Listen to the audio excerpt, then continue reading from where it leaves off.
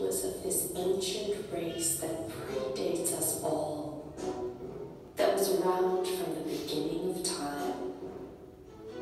And they lived in harmony on the earth for millions of years, and they were happy here, flying over the world, swooping, soaring, seeing all with compassion. These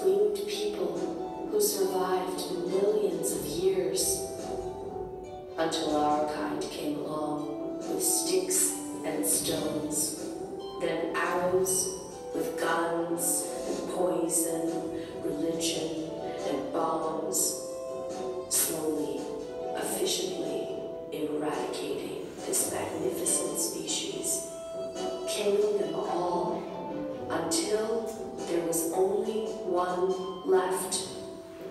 One.